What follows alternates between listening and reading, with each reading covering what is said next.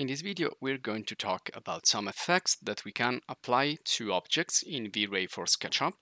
And some of these effects can be obtained by going through the material and using special nodes. And here you can see a couple of these, which the first one is the rounded edges. So you can basically round or chamfer any edge or any corner that you have in the scene and this is gonna look more realistic when you're gonna do a rendering and also we will talk about grass and fur and how to also map many of the uh, materials that you apply to objects in many different ways using the V-Ray utilities and the triplanar node. So let's get started. I'm gonna stop the render here and we're gonna start with triplanar and utilities.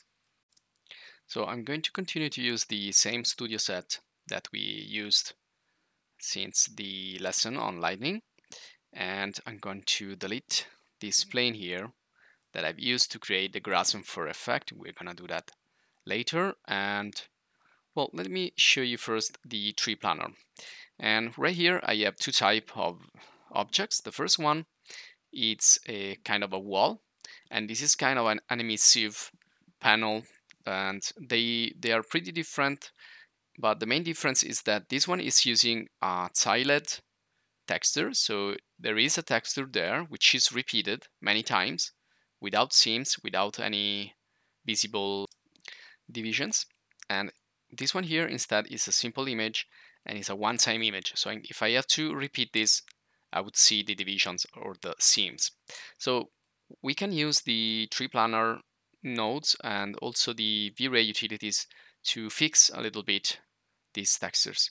Now, when you first apply the, the material to this uh, object, it may not show correctly or in the correct scale. So if we start to, let's select everything here and go into the V-Ray asset editor Okay, so this is the material and I'm going to apply it again to the selection. So usually when I do that, it never displays in the correct way and it's probably going to show really small. So the, the first thing you can do to fix this is to go into the materials and change the tiling from here. So usually you should see something like this the first time you apply one texture. Let me, okay, yeah, something like this. Well, of course, one quick way is to go here in materials and find out the correct scale and set it up just as we did before or through the material texture. But also, let's go here and remove the material.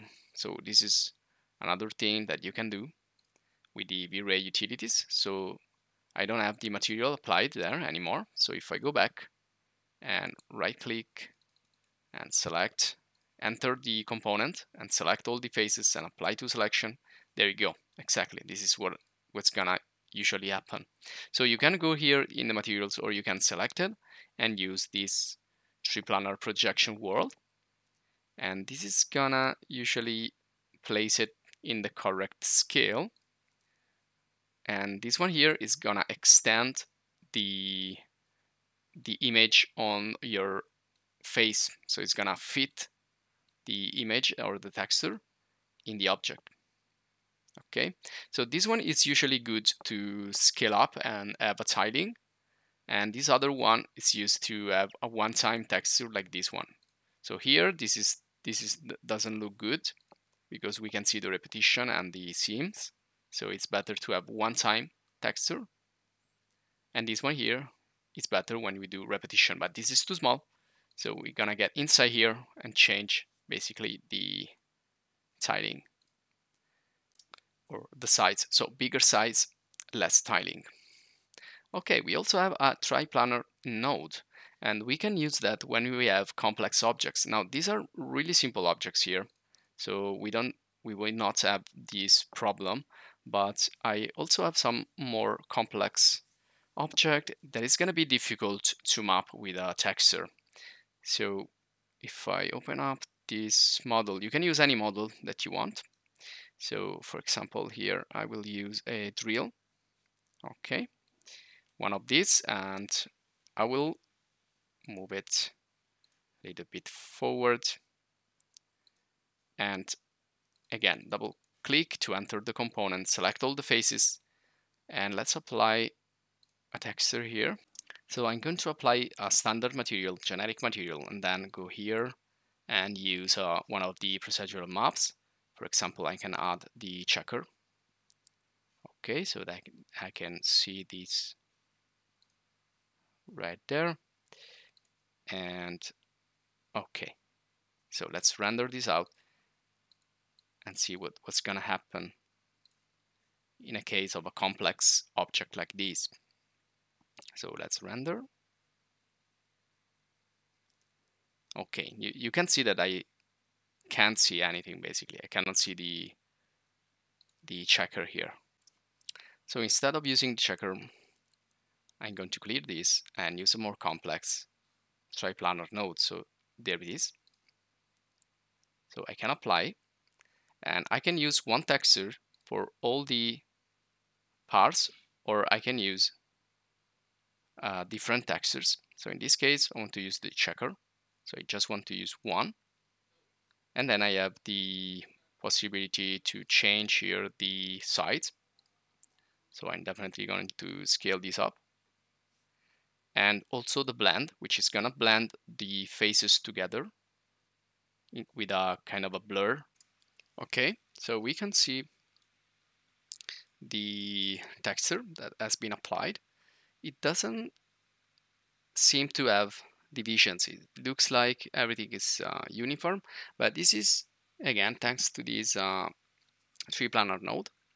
So it's basically using different uh, projection planes to project the texture from uh, six sides and using the axis so the x the epsilon z so you can also change and create different let's for example use a noise in the second one and a well let's find another one and the grid so here we are using three different materials.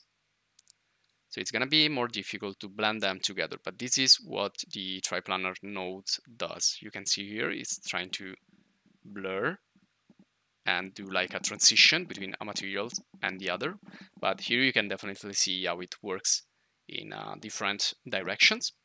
And so these are mapping tools that we find in V-Ray that we can use or we we cannot use. It's uh, it's up to us. We can also do the